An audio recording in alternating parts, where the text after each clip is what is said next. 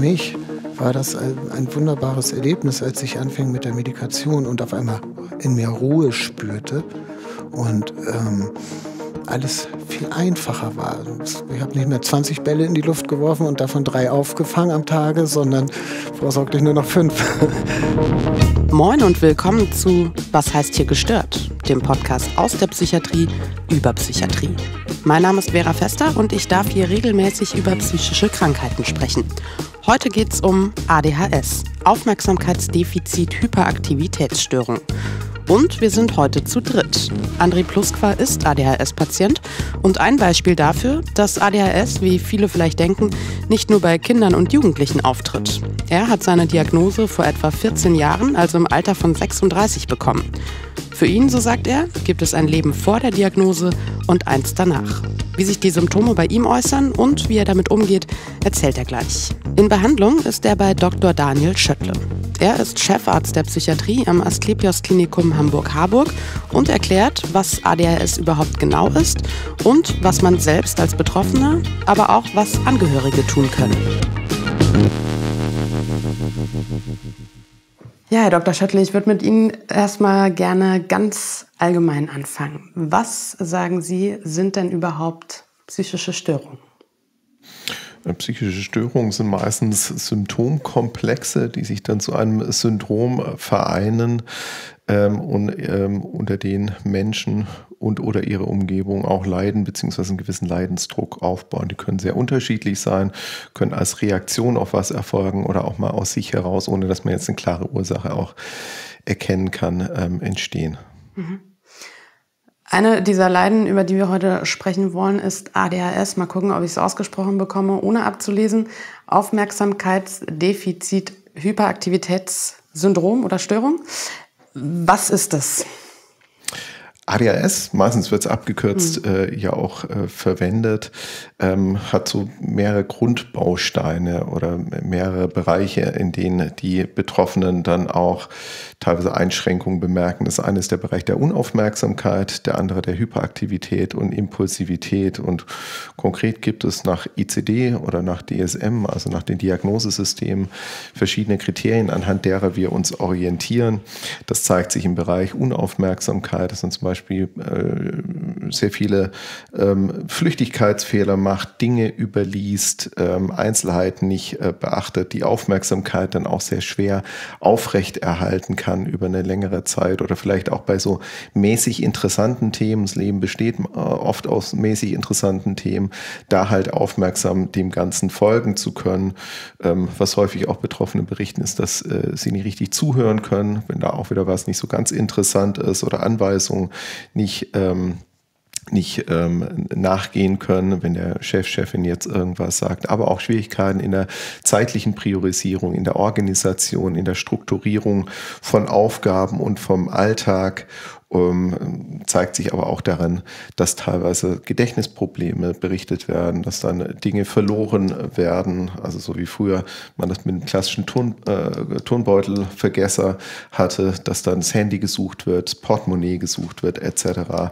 Und ähm, dass auch so in Alltagssituationen oder Aktivitäten über eine Vergesslichkeit berichtet wird. Was auch berichtet mhm. wird, ist, dass häufig ähm, eine Ablenkung besteht, sowohl eine Ablenkbarkeit bezüglich äußerer Reize, aber auch gegenüber innerer Reize, den eigenen Gedanken, dass da eine leichte Ablenkbarkeit ist, wo dann der Fokus nicht aufrechterhalten werden kann. Bei der Hyperaktivität und Impulsivität, das merken Sie meistens dann auch schon im Gespräch, dass dann ähm, gezappelt wird oder, oder mhm. auf dem Stuhl umher äh, gewippt wird oder dann auch so kleinere Bewegungen mit dem Kuli gespielt wird oder mit dem Fuß gewippt wird, dass also so eine Unruhe ähm, besteht Schwierigkeiten äh, berichtet werden, dass man still sitzt oder über längere Zeit sich dann auch ruhig ähm, ver verhält. Und häufig berichten die Betroffenen auch, dass sie sich wie so auf Achse fühlen oder wie so innerlich angetrieben, also mhm. als ob der, der, der Gang draußen ist beim Auto und der Drehzahlmesser auf 5000 ist, ständig so eine innere Unruhe ist und so ein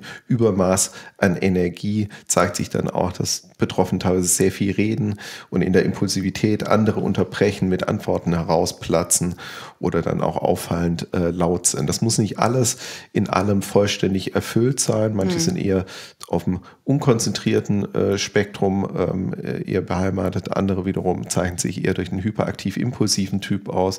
Meistens ist es eine Kombination aus allem. Mhm. Jetzt haben wir heute das große Glück, dass wir mit jemandem sprechen können, der von ADHS betroffen ist. Herr Pluskwa, was würden Sie denn sagen von all dem, was wir jetzt gerade gehört haben? Trifft da auch auf Sie zu? Ich würde sagen, von allem etwas, mhm. mal in der einen, mal in der anderen Ausprägung. Mhm. Wobei ich eben auch sagen muss, dass ich als Erwachsener diagnostiziert wurde mhm. und es definitiv ein davor und ein danach gibt. Mhm. Dass die Dinge, die Dr. Schöttler eben gerade beschrieben hat, in der Zeit vor der Diagnose und Behandlung deutlich intensiver stattgefunden haben als danach. Das mhm. heißt aber nicht, dass ich jetzt gänzlich davon frei bin. Ich habe mhm. nur ein Bewusstsein dazu und entsprechend kann ich das eine oder andere regulieren. Nichtsdestotrotz gibt es zum Beispiel genau solche Situationen bei der Arbeit, Gesprächsrunde und das dauert mir alles viel zu lange mhm. und ich werde nervös und irgendwann platze ich dann dazwischen, Leute, das ist doch alles ganz einfach. Bam, bam, bam, bam, bam, mhm. bam. Und dann äh, werde ich wohl mal ausgebremst. Ja.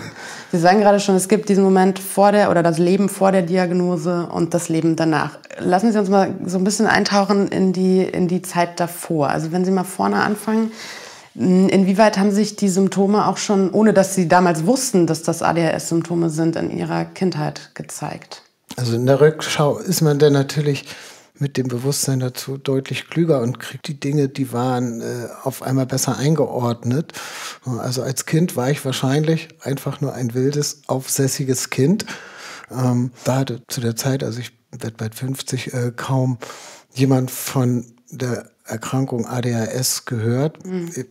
Ich weiß aber, meine Eltern waren mitunter sehr überfordert mit meiner Art, ständig in Bewegung, ständig am Sabbeln, ständig am Fragen stellen mhm. und äh, mit ganz vielen Dingen beschäftigt. Leicht reizbar, wenn ich dann irgendwie, was weiß ich, als Kind mit Lego gespielt habe und jemand platzte dazwischen. Oh, was willst du? Mhm. Ne, denn äh, ich bin also schnell in die Luft gegangen. Mhm. Und ähm, wie hat sich das in der Schule geäußert? Da war es eher so, also da muss ich auch so ein bisschen unterscheiden zwischen Grundschule und dann irgendwann mhm. Oberstufe.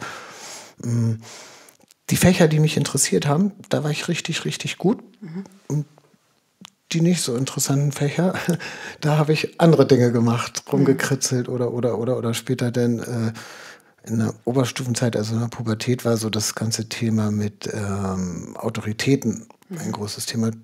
Da bin ich einfach auch nicht mehr hingegangen. Wie hat da Ihr Umfeld reagiert?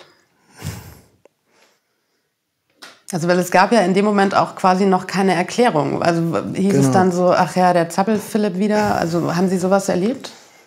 Ich hatte, wenn ich es jetzt auf die Lehrer erstmal äh, reduziere, gute wie schlechte Lehrer. Ich hatte gute Lehrer, die haben es hinbekommen, mich zu motivieren oder haben mir spannende Extraaufgaben gegeben. In der Grundschule äh, hatte ich einen Lehrer, das weiß ich jetzt, äh, der hat gemerkt, wenn ich unruhig wurde, der hat mich dann manchmal zu sich nach Hause, der wohnte um die Ecke geschickt und hat mich irgendein Buch holen lassen.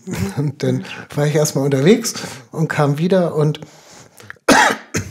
dann war ich halt äh, ruhiger. Mhm. Aber es gab auch bestimmt eine Menge Lehrer, äh, da war ich nicht dein bester Freund. Mhm. So, äh, Gerade auch was denn meine Diskussionsfreudigkeit anbelangte, mhm. wenn ich die Dinge irgendwo anders gesehen habe oder nochmal hinterfragt habe und mich mit irgendeinem, das ist halt so, nicht mhm. zufrieden gegeben habe. Ja. Bevor wir gleich nochmal darauf zu sprechen kommen, wie es dann letztendlich auch zur Diagnose kam, Herr Dr. Schöttle, können Sie versuchen, möglichst einfach zu erklären, was denn überhaupt ja, ADHS auslöst? Also sind das neurobiologische Vorgänge? Kann man das leicht erklären, woher das überhaupt kommt? Also Im Großen und Ganzen wissen wir noch nicht, äh, woher ADHS entsteht. Wir wissen, dass eine äh, gewisse Erblichkeit auch äh, vorhanden ist und eine ähm, die Genetik eine Rolle spielt. Aber welches Gen das jetzt ist, ähm, das wissen wir noch nicht. Es gibt so ein paar äh, Gene, die in Frage kommen, im Sinne von, dass sie das Risiko erhöhen, dann auch ähm, ADHS zu bekommen. Das sieht man an dem, dass erstgradig Verwandte ein ungefähr fünf bis zehnfach erhöhtes Risiko haben, selber auch eine ADHS dann ähm, zu haben.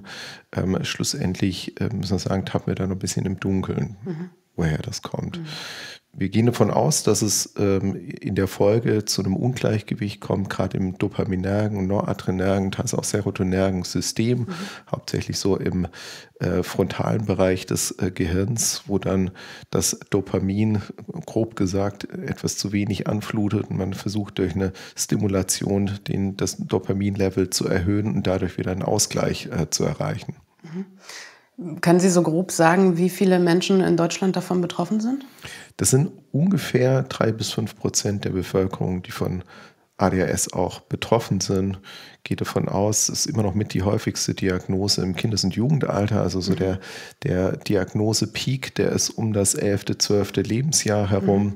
Und dann werden von denjenigen, die in der Kindheit diagnostiziert wurden, ungefähr 40 bis 50 Prozent das ADHS in dann jeweils unterschiedlicher Ausprägung auch mit ins Erwachsenenalter mitnehmen. Mhm. Kann man was darüber sagen, ob es mehr Männer oder Frauen betrifft? Das sind tendenziell etwas mehr Männer, die mhm. betroffen sind. Ungefähr zwei, äh, zwei bis drei Männer kommen auf eine Frau. Man weiß aber auch in äh, letzter Zeit, dass es bei Frauen häufig nicht entdeckt wird, beziehungsweise fehldiagnostiziert wird und möglicherweise diese Geschlechtsunterschiede, wo man früher noch von einer deutlicheren Männerdominanz ausging, mhm. gar nicht so ausgeprägt vorhanden sind, sondern dass die Frauen halt äh, nicht so oder die Mädchen auch nicht so entdeckt werden im Vergleich mit den Jungs. Mhm. Herr Pluskwa, wie war das dann im weiteren Verlauf bei Ihnen? Wir haben es jetzt gerade schon gehört, dass sich bei einem Großteil dann doch der, ja, das von dem, von dem Kind, jugendlichen Alter bis ins Erwachsenenleben reinzieht. Wie war das bei Ihnen? Kann ich einmal noch Bezug auf das nehmen, was Gerne. Dr. Schöttler da gerade gesagt hat, weil das finde ich ganz äh, wichtig. Meine Frau, mein Partner, auch ADHS, ist mhm. auch als Erwachsene erst diagnostiziert mhm. worden. Und zwar auch erst nachdem wir einige Zeit zusammen waren. Da war ich mhm. diagnostiziert und hatte mich da gut mit auseinandergesetzt, ähm, irgendwann im Verlauf der Partnerschaft festzustellen, äh, dass ich immer öfter den gesagt, Satz gesagt habe, sag mal, du erinnerst mich echt an mich mhm. früher. Mhm. So. Okay. Und dann haben wir das tatsächlich mal checken lassen und mhm. äh, dem war auch so. Und okay. ähm, in dem Zuge mussten wir auch feststellen, dass halt so, wie sich das bei Frauen entwickelt mhm. oder im Teenageralter, dass das nicht so offensichtlich offenbar mhm. ist wie bei Männern. Mhm. Und bei mir war es so, dass ich mit Ach und Krach dann auch mein Abi geschafft habe und mhm. äh, Zivildienst gemacht, Ausbildung und dann fing ich an, ganz viele verschiedene Sachen zu machen, bin also nie lange an einem Ort geblieben und ähm, musste mehr und mehr feststellen, dass äh, ich zwar sehr gut mich auf irgendwelche Sachen, die mich gerade interessieren, total konzentrieren kann, aber äh, simpelste Aspekte des Alltags von Haushaltsführung bis Finanzplanung, Termine, Einheiten, dass ich das so überhaupt nicht hinbekomme. Mhm. Und äh, konnte mir das gar nicht erklären. Gleichzeitig habe ich, das kann ich heute in der Rückschau sagen, äh, immer mehr Selbstmedikation betrieben.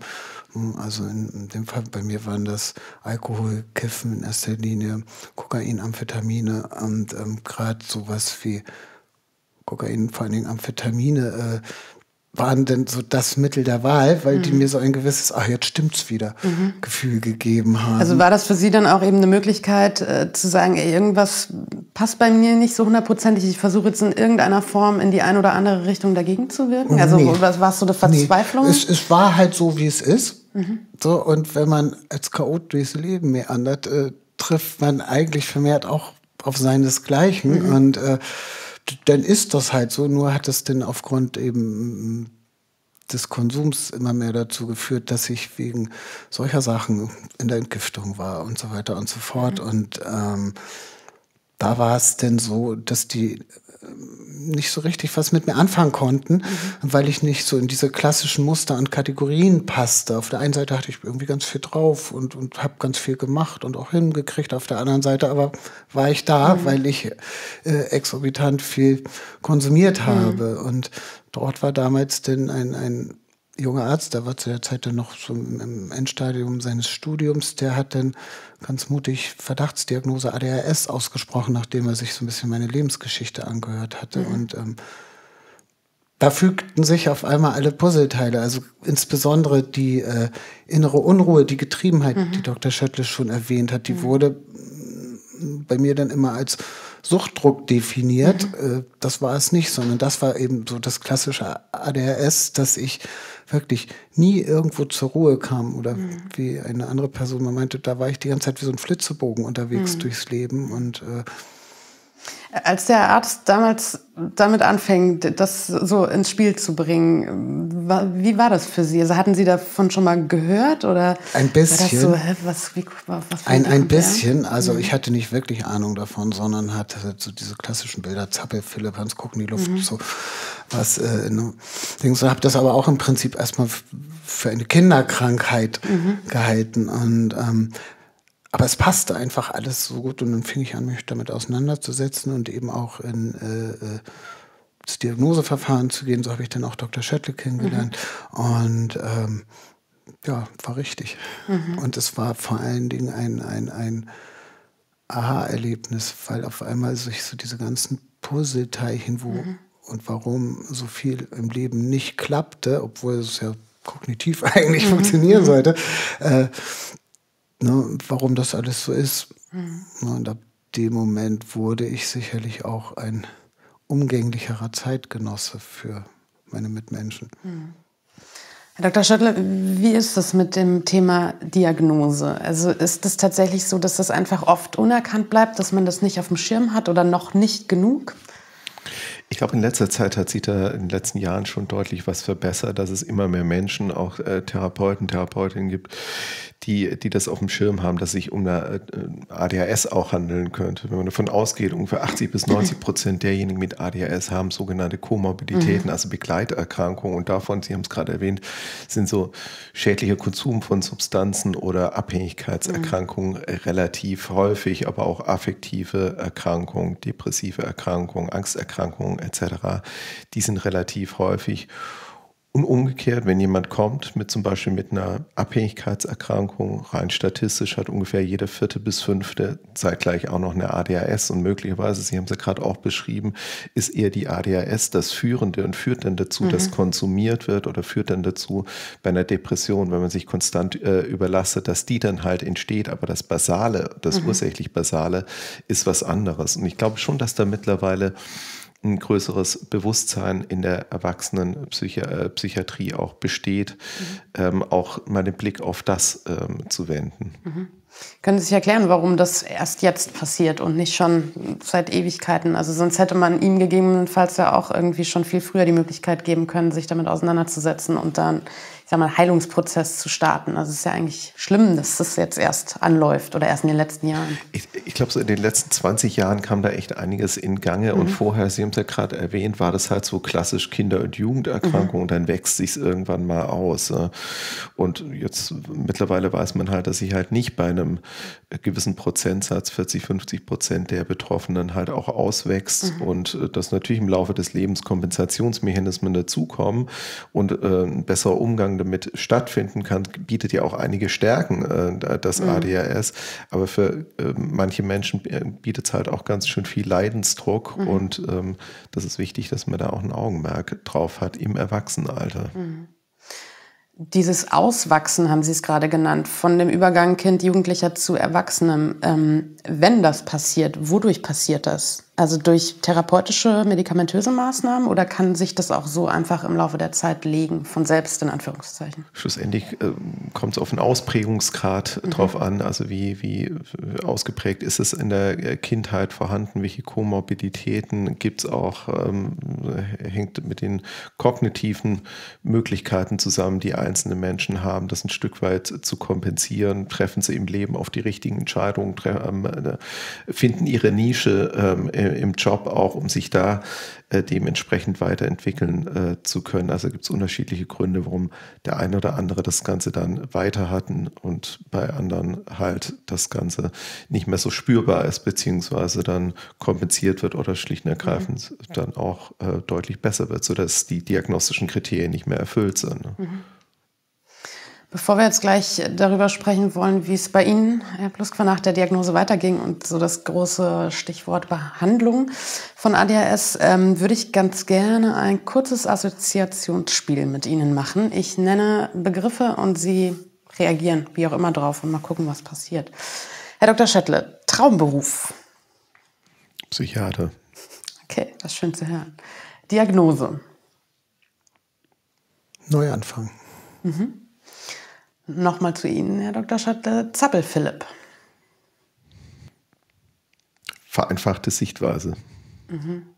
Das ist ein Problem, oder? Bei ADHS. Also das ist so dieses, also finde ich, was total verbreitet ist, so dieses, ach, was hampelt der denn wieder rum? Und ist das ein, ist das ein Thema, dass das oft nicht entdeckt wird? Warum jemand rumhampelt, kann völlig unterschiedliche mhm. Gründe haben. Ein Grund für das Ganze kann der ADHS sein, gibt aber auch x andere ja. Gründe. Und ja. umgekehrt, ADHS-Betroffene sind nicht immer die klassischen Zappel-Philips. Äh, mhm oder die Träumer lesen oder wie auch immer mhm. man äh, sie nennen äh, möchte. Das ist das Spektrum ist riesig. Mhm. Tja, die Erfahrung habe ich auch gemacht. Ich habe natürlich mhm. jetzt im Laufe des Lebens äh, viel mit anderen ADHS-Betroffenen äh, zu tun gehabt, auch im, im Rahmen meiner Arbeit. Mhm. Äh, das, was die meisten eint, finde ich, ist, ist ähm, dass sie immer ein bisschen die Exoten sind und, mhm. und äh, alle fast alle ein, ein doch, auch wenn sie straffällig geworden sind und so irgendwie ein ganz ausgeprägtes soziales Bewusstsein haben und ganz feine Antennen oftmals mhm. für, für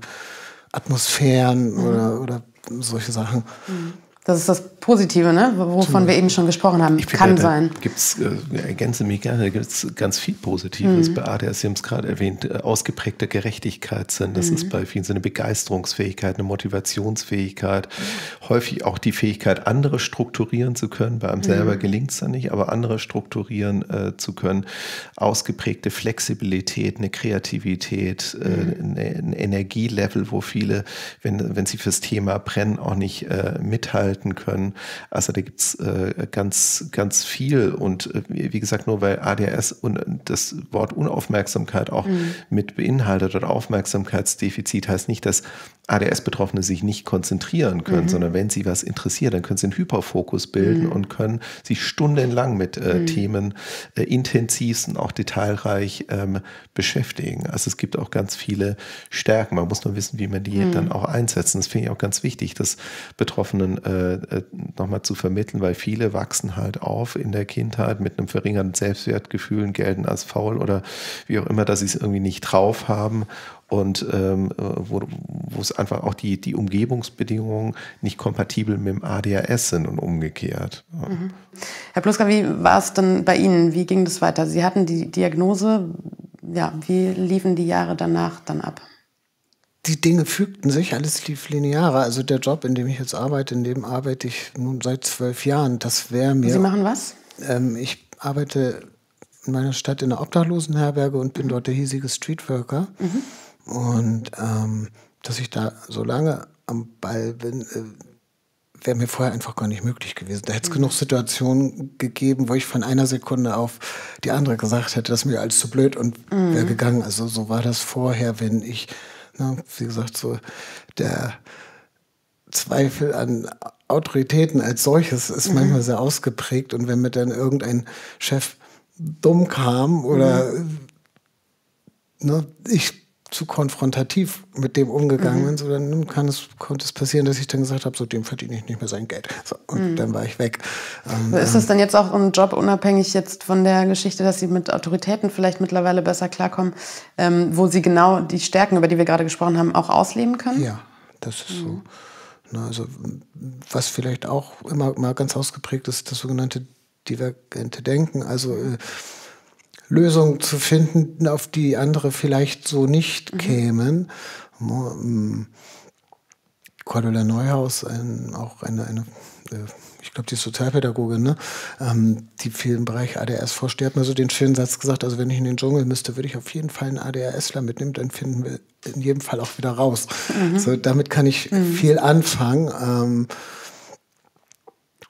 einen Ausweg zu finden oder eine Lösung mhm. zu finden und nicht aufzugeben und zu sagen, naja, das wird alles nichts. Äh, mhm. so läuft das nicht, mhm. sondern da kann man äh, sehr lange dranbleiben. Bei mir ist zum Beispiel eben auch dieses, der Hyperfokus sehr ausgeprägt und das nehme ich auch als wirkliche Qualität war. Also mhm. wenn mich ein Thema interessiert, meine Kinder früher immer schon Scherze drüber gemacht haben, besorge ich mir einen riesen Stapel Bücher. Mhm. Am liebsten hätte ich dann so einen langen Tisch, wo ich die einmal so drauf äh, drapiere und dann kann ich da rumgehen und lesen und nach kürzester Zeit kann ich über das Thema endlos referieren und mhm. sehe dann auch so, dass ich Leute, die damit zu tun haben, kennenlernen und dann bin ich in der Materie drin. Das äh, ist schon schön. Und bei der Arbeit eben ist das auch so, wenn man dann irgendwie endlos lang diskutiert, wie machen wir dies, wie machen wir jenes. Dann gedacht, das, Leute, das ist doch ganz einfach. Wir machen so, so, so, so, so mhm. und dann passiert das. Mhm.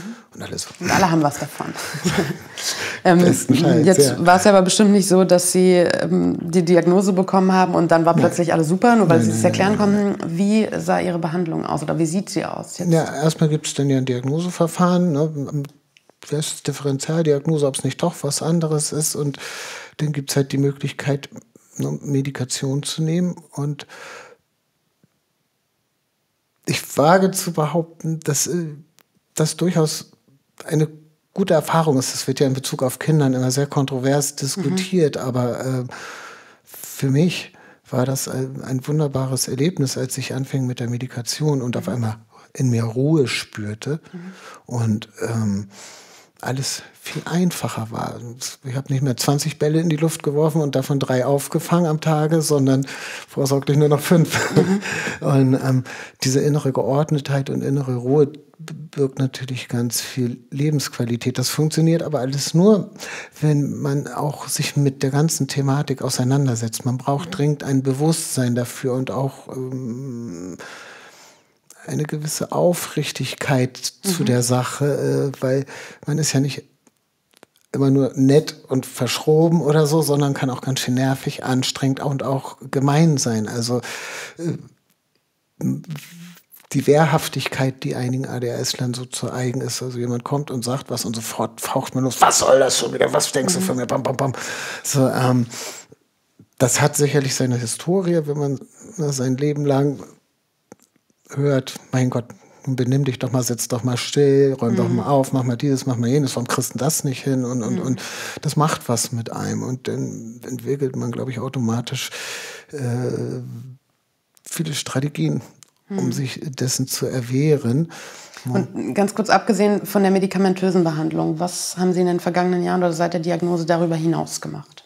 Wie gesagt, ein, ein, Bewusstsein für die Sache zu entwickeln, geht auf mannigfaltige Art mhm. und Weise. Es gibt Symposium, es gibt Selbsthilfegruppen, sowas wie ADHS Deutschland. Ganz wichtig sind natürlich Gespräche mit Fachleuten. Also Dr. Mhm. Schettler kenne ich jetzt schon seit 14 Jahren fast, glaube ich. Mhm. Ne? Und ähm, war mindestens in der Anfangszeit sehr oft da und mhm. äh, vor allen Dingen auch in der Not, wenn wieder irgendwo eine, eine Krise, ein Drama war, mhm. das zu eskalieren drohte, hat Dr. Schantel immer seitenlang E-Mails gekriegt, mhm. ohne Punkt und Komma, ähm, wo ich dann einfach erstmal abreagiert habe und mhm. dann ist es gut, ein wohlmeinendes Gegenüber zu wissen, dass er so, das ist doch ganz klassisches Muster, da ist das und das passiert und mhm. an der Stelle wäre es klug, umzudenken mhm. ne, und darauf zu achten, dass sie selber nicht oder man selber nicht äh, dann wieder in die alten Fettnäpfe tritt und voll in den Angriff geht, sondern einfach erstmal abwartet. Eine hohe Kunst.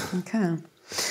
Ähm, Herr Dr. Schattle, jetzt mal abgesehen, ne, die Medikamente haben wir eben schon besprochen. Er hat noch viel darüber erzählt, ne, sich, sich darüber zu informieren, was ADHS bedeutet, wie man damit umgehen kann. Aber sicher spielt ja eben dann auch, was er jetzt nochmal angesprochen hat, auch so eine gesprächstherapeutische, vielleicht eine verhaltenstherapeutische ähm, Richtung eine wichtige Rolle. Wie sieht ganz allgemein gesagt so eine Behandlung aus, sobald diese Diagnose steht? Prinzipiell ist es gerade im Erwachsenenalter so, Sie haben es erwähnt, Wissensvermittlung, mhm. das ist ganz wichtig, sogenannte Psychoedukation. Also das sind meistens machen das Betroffene schon von, von alleine, sich zu informieren, was ist eine ADHS, was sind so typische Symptome, Verhaltensmuster, die daraus äh, auch entstehen können. Mhm. Und dann ist tatsächlich einer der ja, Kernpfeiler des Ganzen die medikamentöse Behandlung, mhm. wo unterschiedliche Präparate, betäubungsmittelpflichtige Präparate wie die Stimulantien, also Methylphenidat ähm, und ähm, Amphetaminpräparate zur Verfügung stehen oder dann auch Nicht-Stimulantien wie das Atomoxetin die haben eine sehr hohe Effektstärke, also sie sind mhm. sehr wirksam, gerade bei einer ADHS und dann weniger in Bezug auf die Kernsymptomatik, dass sich da die durch Psychotherapie verbessern lässt, aber viele Menschen mit ADHS haben halt auch diese Erfahrung gemacht, was wir auch schon besprochen hatten, dass sie sehr viel Negatives dann auch abgekriegt haben, mhm. negative Lernerfahrungen gemacht haben oder dann auch, äh, wie gesagt, Begleiterkrankungen entwickeln. Und da ist es ganz wichtig, dass man auch psychotherapeutisch mhm. das Ganze auch in Bezug auf die Biografie ähm, auch angeht. Ähm, kann durch eine Verhaltenstherapie sein. Das ist das, äh, gibt äh, sehr gut evaluierte auch Gruppenpsychotherapien. Das äh, kann aber auch äh, bei Einzelnen mal tiefenpsychologisch äh, mhm. oder eine systemische Therapie sein. Klassischerweise wäre es tatsächlich die Verhaltenstherapie. Mhm. Gibt es denn abgesehen von Medikamenten und therapeutischer Behandlung in welcher Form auch immer Möglichkeiten für jemanden, der von ADHS betroffen ist, selbst irgendwie noch was zu tun, um sich selbst zu helfen sozusagen? Also was viele äh, Betroffene als hilfreich empfinden, ist Sport zu machen. So einfach, mhm. wie es sich anhört. Sport, Ausdauersport kann extrem hilfreich sein. Mhm. Um einfach so ein bisschen dem Hyperaktiven auch entgegenzuwirken? Oder wie, wie, wie stelle ich mir den Mechanismus davor? Ja, es kann Unterschied, dem Hyperaktiven äh, das abzubauen oder auch sich besser konzentrieren zu können, emotional ausgeglichener zu sein. Mhm. Sport hat da unterschiedlichste Wirkungen. Mhm. Abgesehen jetzt von den therapeutischen Sachen oder auch also Hilfe durch Arzt, Ärztin, Therapeutin, was würden Sie denn sagen, Herr Pluska, jetzt erstmal, was kann denn auch das Umfeld tun? Also, weil wir haben jetzt eben schon darüber gesprochen, ne, wie teilweise Lehrer sind mal so, mal so, Eltern sind vielleicht mal so, mal so, MitschülerInnen auch. Also jetzt sowohl im Kinderbereich als auch dann später im Erwachsenenleben hat man ja soziale Kontakte, die vielleicht auch mal komisch reagieren oder damit überhaupt nichts anfangen können. Wie sind da Ihre Erfahrungen? Was glauben Sie? Oder wie, wie war das Umfeld zu Ihnen und was hätte es vielleicht besser tun können? Vielleicht gut, hatten Sie aber auch Glück. Gut ist, wenn äh, jetzt ein Bewusstsein vorausgesetzt natürlich mhm. zu der Sache, ähm, das Umfeld sich auch entsprechend natürlich mit der ganzen Sache auseinandersetzt, mhm. um dafür ein Gefühl zu bekommen und eventuellen Eigenheiten und Impulskontrollverlusten ähm, nicht aggressiv begegnet, sondern bestenfalls auch mit Humor zum Beispiel, ne, mit einer gewissen Gelassenheit. Mhm. also bei mir bei der Arbeit zum Beispiel ist das so insbesondere auch so die ADHSler, wenn, wenn die dann irgendwie in, in so einen Modus kommen, dass gerade alles ganz hochdramatisch ist und die, mhm.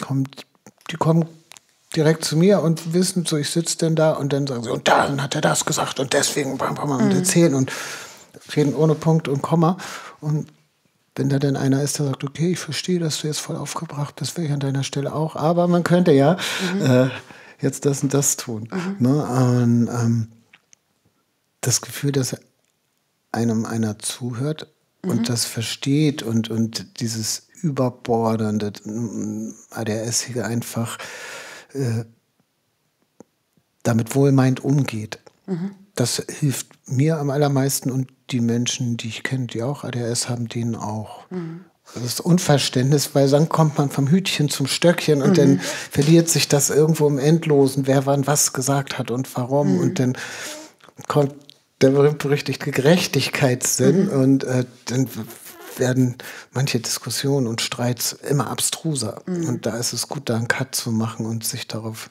zu besinnen, irgendwie wieder auf das Wesentliche zurückzukommen. Und da braucht man manchmal einen, der ein bisschen an die Hand nimmt. Mhm. Und Sie sagten jetzt vorhin schon, dass Ihre Frau, Freundin irgendwann auch die, Frau auch die Diagnose bekommen hat.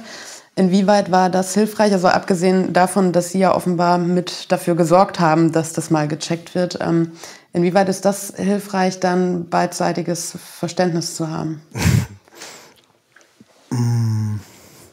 Wir sind ja nicht ohne Grund zusammengekommen, sondern äh, fühlten uns ja schon verbunden. Äh, wir arbeiten beide im sozialen Bereich. Äh, und sind dort auch mit sehr viel Haltung unterwegs. Also gerade was so diesen Gerechtigkeitssinn anbelangt. Wenn also die Behörde nicht so macht, wie sie soll, dann halten wir so lange dagegen, bis der Mensch zu seinem Recht gekommen mhm. ist. Ähm, das tun wir aber auch für uns, wenn wir im Konflikt mhm. sind. Und äh, da ist es natürlich gut zu wissen, woran es liegt, weil wir eben äh, diese Mentalstruktur haben mhm. und dass wir dann eben auch mit einer gewissen Introspektive daran gehen und uns äh, wieder aus dieser Wehrhaftigkeit oder dieser Streitlust entfernen. Und dafür muss man sich halt gut verstehen. Und bestenfalls nutzt man das natürlich auch positiv, mhm. so wenn man gemeinsame Hobbys hat oder irgendwie ein Projekt angeht. Ne? Denn helfen wir uns natürlich auch umgekehrt, dass der eine, die andere oder sie mich dann nochmal motiviert, begeistert mhm. und dann sind wir wirklich intensiv dabei. Also ich sage es immer so, wenn wir beide am gleichen Strang ziehen, dann ist ziemlich hundertprozentig sicher, dass das, was wir wollen, auch klappt. Mhm. Ja, schön. Wie beobachten Sie das ähm, auch mit anderen PatientInnen? Ähm, welche Rolle spielt da das Umfeld, Familie, Freunde, soziale Kontakte insgesamt? Und dass einfach ein gewisses Verständnis auch da ist oder mhm. vielleicht manches, was dann passiert, nicht so persönlich zu nehmen ist, sondern vielleicht auch im Kontext von so einer äh, Impulsivität äh, geäußert wird. Umgekehrt muss man natürlich auch nicht äh, oder muss man vorsichtig sein, dann auch den Fehler zu machen, alles auf ADHS zu attribuieren, zu mhm. denken, das äh, ist halt so, äh, weil er ist ein ADHSler oder sie mhm. ist oder ich habe eine ADHS und kann deshalb gar nicht anders. Also man hat natürlich trotzdem eine Verantwortung für sein Handeln, auch die Verantwortung, sein Handeln dahingehend zu ändern, dass es für einen selber und für die anderen kompatibel wird ähm, muss aber dann gleichzeitig auch berücksichtigen, dass es halt diese Besonderheiten gibt. Und ich glaube, wenn da eine, ein Bewusstsein besteht mhm. und, und eine gewisse Ach, ein gewisser achtsamer Umgang, dann kann das sehr viel erleichtern. Deshalb ist es wichtig, Freunde, Freundin, Familie auch mit einzubeziehen. Das meinte ich, glaube ich, mit der Introspektive. Ähm, mhm. zu lernen und, und sich das immer wieder zu vergegenwärtigen, dass die eigene Laune nie wichtiger ist als der gute Umgang mhm. mit seinen Leuten. Mhm. Ne? Und ähm, sich eben auch zurücknehmen lernen, zu lernen, still da zu sitzen und die anderen erstmal ausreden zu lassen, auch wenn man schon seit zehn Minuten sagen will, passt auf, Wollten Sie, wollten Sie das zwischendurch? Waren, ja. waren jetzt Situationen dabei? Ja, waren diverse und Sie Momente, haben sich ich sofort, ach, da könnte ich ja das und das noch ja. sagen und dann okay. warte ich. Ja, aber jetzt äh, gerade war es so. Ich finde das ja ganz schön, wenn Sie direkt reagieren. Absolut. Ähm, ist es Ihnen denn insgesamt jetzt auch schwer gefallen? Wir sind jetzt seit knapp über einer halben Stunde dabei, ähm, aufmerksam dabei zu sein, sich zu konzentrieren? Nein. Gar nicht. Überhaupt okay. Nicht. Ja. Das ist A, ein bisschen Hyperfokus. Mhm. Auch das mhm. macht ja Spaß und Freude. Mhm. mhm. Ne? Ähm, und zum Zweiten, ähm, Atmosphäre ist angenehm. Mhm. Hier stört nichts, niemand mhm. nervt. Wenn ich so meine Sachen mache, Musik schreiben, was auch immer, mache ich das meistens nachts, ähm, weil da dann um einen herum auch nichts los ist, was einen so ja. aus seiner Konzentration holen kann. Und ähm, habe das ja auch so in anderen Kontexten immer schon mal gemacht, also über ADHS zu erzählen und das ist unglaublich wertvoll. Mhm. Es hat sich so über die Jahre ergeben, dass Leute mich angerufen haben und, und sich ein bisschen über das Thema kundig gemacht mhm. haben oder ein bisschen erzählt haben. So, ich bin natürlich kein Arzt, aber ich kann dann sagen, ja, so was du da so erzählst, macht es vielleicht mal Sinn, wenn du mhm. da und dahin fährst und einfach mal guckst. Und, ja. und das hat bei einigen Leuten ja auch tatsächlich das Leben fundamental verbessert. Ja. Und das ist natürlich eine gute Sache. Also Aufklärungsarbeit, Öffentlichkeitsarbeit zu der Sache, das ist fundamental wichtig, gerade auch in Bezug auf Eltern und ihre Kinder, wo denn, dann gibt es die, oh, was Herr Dr. Schillmann, mein Kind hat ADHS. Vielleicht mhm. ist es auch einfach nicht gut erzogen. Mhm. Ne? Und mhm. umgekehrt äh, gibt es Eltern, die hadern dann sehr damit, ihrem Kind diese bösen Tabletten zu geben, mhm. ne? aber wenn sie denn einmal das Kind erleben, das äh, Medikation bekommen hat und sehen, wie entspannt und glücklich auf einmal das Kind ist, weil es auf einmal Freunde hat, die mit einem spielen mhm. mögen, weil mhm. die sagen, oh, jetzt ist ja gar nicht mehr so wild. So, mhm. ähm, das ist schon wichtig. Mhm. Ich finde es auf jeden Fall großartig, dass Sie damit so auch an die Öffentlichkeit gehen und das erzählen und sich da nicht scheuen. Ich glaube auf jeden Fall, dass das hilft, darüber zu sprechen. Vielen Dank auf jeden Fall dafür. Weswegen wir jetzt auch schon zur, zur Abschlussfrage kommen. Jetzt sind Sie zu zweit. Normalerweise habe ich einen Gesprächspartner und frage, ähm, wie er oder sie sich von PatientInnen verabschiedet. Jetzt frage ich Sie beide, Sie sind ja einmal ähm, Chefarzt und Patient. Wie verabschieden Sie sich denn normal voneinander nach einem Gespräch? Gibt es da ein Ritual? Gibt's da, ist das ein Handschlag? Manchmal, also bisher kamen dann auch so Antworten wie, ja, wir sagen auf jeden Fall immer gerne melden, wenn irgendwie was ist. Gibt es da irgendwas bei Ihnen, wie das standardmäßig abläuft? Kann ich anfangen? Ähm, wir kennen uns nun so lange und mhm. ähm, was ich bei Dr. Schöttle sehr, sehr schätze, ist, dass ich A, weiß, ich kann immer eine Mail hinschreiben, mhm. so, und ähm, wir schaffen das gut in kurzer Zeit viel zu verhandeln und, und, und, klar zu machen. Mhm. Also sie haben auch viel zu tun, so und äh, aber das funktioniert alles gut. Mhm. Ne? Und ich habe nie das Gefühl, dass Dr. Schütter irgendwie nicht bei der Sache ist. Das kenne ich ja mhm. von anderen Menschen, der hört mir gar nicht zu. Und mhm. ähm, ähm, selbst wenn da irgendwie das Telefon klingelt, so das kenne ich ja von mir selber, wenn man im Multitasking ist. Und von daher ist das Tschüss sagen eigentlich nichts Besonderes, sondern so, jeder macht jetzt weiter sein Ding mhm. und beim nächsten Mal sieht man sich wieder. So okay. würde ich es beschreiben. Würde ja. ich auch so beschreiben. Ich glaube, wir sagen Gut. Tschüss bis zum nächsten Mal genau. und ja. wenn irgendwas sein sollte, melden Sie sich. Also ich glaube, irgend sowas. Ja. Aber das glaube ich das einzige Ritual, was okay. wir haben. Ich sage äh, Tschüss und vielen Dank auf jeden Fall. War sehr interessant. Gerne. Dankeschön. Vielen, vielen Dank. Das war Was heißt hier gestört? Der Podcast aus der Psychiatrie über Psychiatrie. Meldet euch bei Fragen, Kritik, Anregungen gerne über die Social-Media-Kanäle der Asklepios Kliniken.